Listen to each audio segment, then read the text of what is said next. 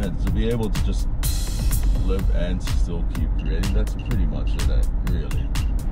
Doing what you what you want to do, doing what you love, taking care of your family.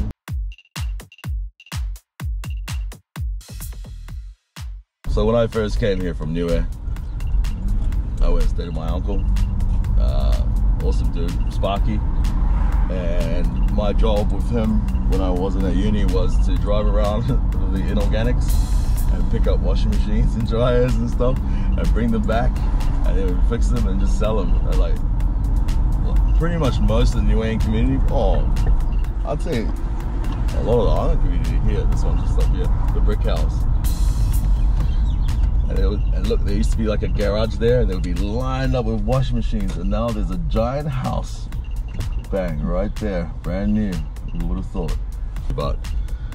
I won't lie, man. Sometimes we get paid in like lunch and corned beef or like maybe twenty dollars and something. It was cool. At the beach. That's what I was thinking. What do you reckon? Yeah, nice. Yeah? Squeeze to the beach, man. Hot.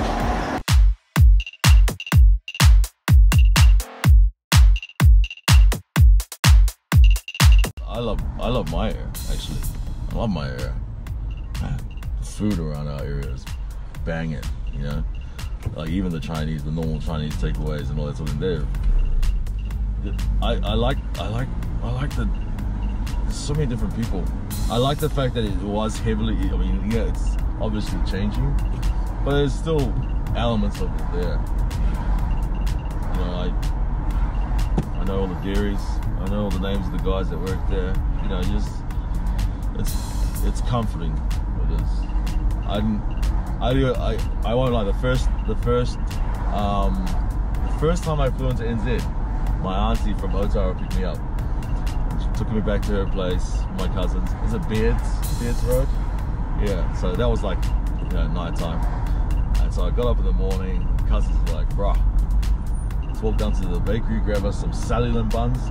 Those buns, they're not there anymore, but those were a gangster, huh? I was like, yeah, sweet as, man, let's go. And I'm like walking, we're walking down to the Otara like shops. I'm looking around, you know, because you have your preconceived ideas of what NZ is gonna be like. It's like, man, there's a lot of brown people here. I was not expecting this. This is cool. And then my uncle picked me up a couple days later when clubbing in the city because yeah. And I was like, okay, so this is so it was just kind of like just that area.